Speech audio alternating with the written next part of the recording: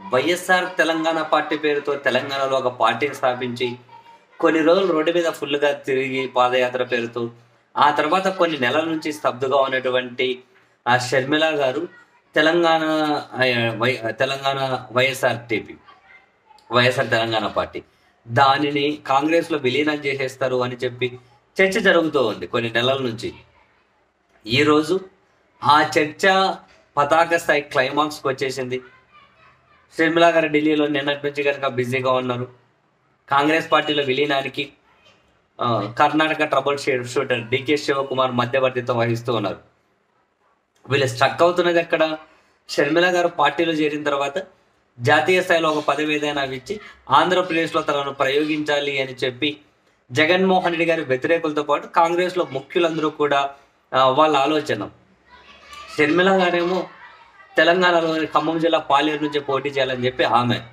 మొత్తానికి ఇద్దరి మధ్య ఒక డీల్ కుదిరింది అని ఆ డీల్ ఏంటనేది మళ్ళీ చెబుతారేమో త్వరలో. ఒక డీల్ కుదిరింది అని.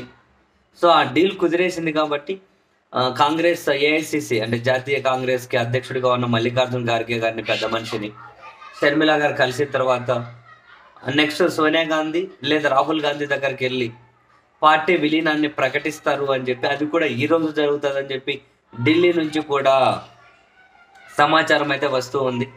అండ్ మొత్తం మీద కాంగ్రెస్లో విలీనానికి సంబంధించి ఇది ఒక క్లైమాక్స్ అదే అట్ ద సేమ్ టైం ఆంధ్రప్రదేశ్లో జగన్మోహన్ రెడ్డి గారిని ఎదుర్కోవడం కోసం నానా కష్టాలు పడుతున్నటువంటి తన వ్యతిరేకులకు ఇప్పుడు షర్మిల రూపంలో ఒక అస్త్రం దొరుకుతూ ఉంది అని జగన్మోహన్ రెడ్డి గారికి ఇంటి పోరు షర్మిల రూపంలో రాబోతుంది అని చెప్పి వాళ్ళందరూ స- వాళ్ళందరూ సంబరపడిపోతున్నారు.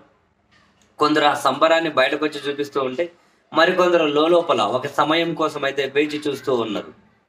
షర్మిలను ఆంధ్రప్రదేశ్లో ప్రయోగిస్తే మొదట నష్టపోయేది జగన్మోహన్ రెడ్డి గారే అన్నది వీళ్ళ అంచనా.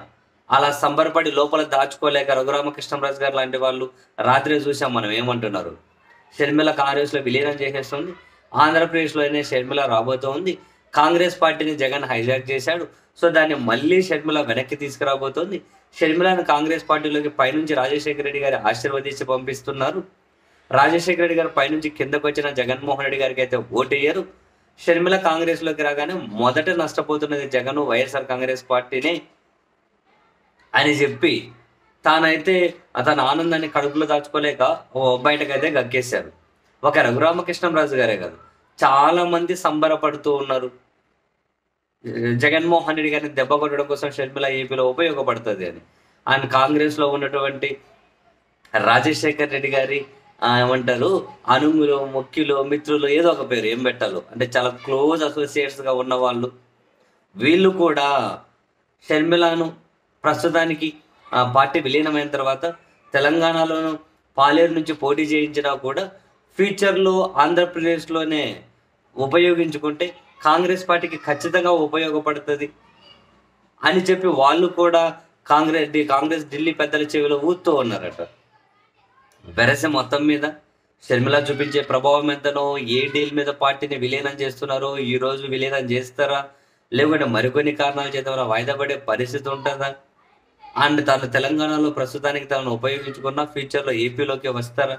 వస్తే అసలు ప్రభావం ఎంత? జగన్ మీద పడే ఇంపాక్ట్ అంతా ఈ అన్ని ప్రశ్నలకు కాలం సమాధానం చెప్పాలి కానీ బట్ షర్మిల కాంగ్రెస్లో విలీనం చేస్తూ ఉంది తన పార్టీని అనే ఈ వార్త మాత్రం జగన్మోహన్ రెడ్డి గారి వ్యతిరేకులకు తాత్కాలికంగానైనా కూడా ఆనందాన్ని అయితే ఇస్తూ ఉంది.